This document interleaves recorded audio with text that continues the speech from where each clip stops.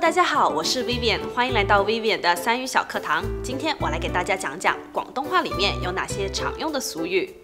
第一个是煲水，煲水是指烧水或假的消息。我在烧水，你不要走那么近。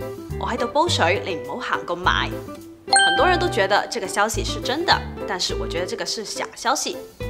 好多人都觉得呢个消息系真嘅，但系我觉得系煲水消息。此外，粤语中的煲有关的还有订煲。订煲通常形容情侣分手，他们吵架吵到分手，佢哋嗌交嗌到订煲。你们分手之后还有没有见面呀？你哋订煲之后仲有冇见面啊？此外，粤语中的订嘢是摔东西、扔物品的意思。你不要扔物品下楼，会弄伤人的。你唔好订嘢落楼，会整亲人噶。你一发脾气就会摔东西。你一发脾气就会掟嘢。刚刚我们有提到煲水、掟煲，那么和煲有关的词语还有煲底麻粥。有人肯定就有疑问了，怎么广东人连电话都可以煲粥？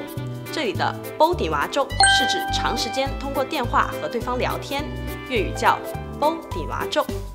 原本煲底麻粥来自广东话的煲粥，煲这个字在广东话里面是指烹饪方面的长时间煮。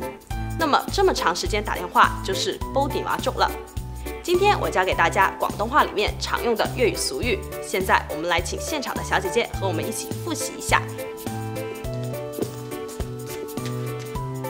煲水，煲水、订煲，订煲、订嘢，订嘢、煲电话粥。